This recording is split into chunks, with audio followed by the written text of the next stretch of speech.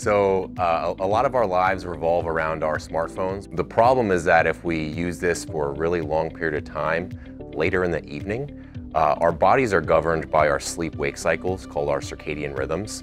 And the lights that are emitted from our phones are very much similar in brightness to natural light of the sun.